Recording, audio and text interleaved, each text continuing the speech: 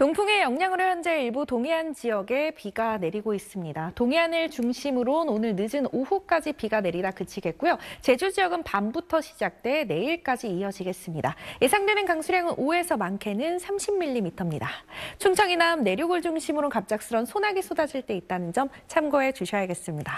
9월의 마지막 토요일인 오늘도 낮더위가 기승입니다. 서울의 낮 최고 기온 29도, 화수는 무려 31도까지 오르면서 낮 동안 덥겠고요. 아침과의 일교차는 10도 이상 크게 벌어지겠습니다. 전국 하늘엔 가끔 구름이 많겠고요. 아침까지 호남 내륙을 중심으로 안개가 짙게 끼겠습니다. 제주와 영남 해안가를 중심으로 바람이 강하게 불어들겠습니다. 자세히 기온 살펴보시면 오늘 아침 대구의 기온 19.5도에서 출발하고요. 낮이 되면 광주의 기온 30도까지 오르겠습니다. 10월의 첫날인 화요일에는 중부와 제주를 중심으로 비 예보 나와 있습니다. 날씨였습니다.